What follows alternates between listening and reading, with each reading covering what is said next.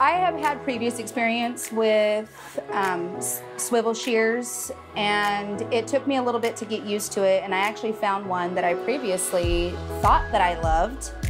And then I was introduced to the slider shear, and it changed everything for me the constant stress and tension of how we use our shears and maneuver them, it will put lots of stress on your joints, your wrists, having to overcorrect and redirect yourself and things like that. So when I got into the swivel shear, I was super happy with it. And then I was introduced to the slider swivel.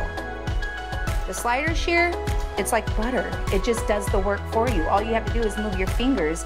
I don't even have to move my wrist anymore. It's given me so much benefit to my career, to my life, to my extension of, of my outlook on how much longer I'm gonna continue to keep doing my career just from these shears alone. And honestly, i am gonna tell you, I spent $780 on one pair of shears right before these. So I thought I found them. And it was, I was so proud of myself because I was a big girl and finally bought and invested in a real pair of good shears, or so I thought. And my Hanzo's, my $700 shears, they sit in a case in my desk all day. And I got maybe four months of use out of them before I switched to these babies. And I love these. I'm not kidding you. There's, they are probably the most comfortable shears I've ever had. I love the way they feel in my hand. It's like a glove.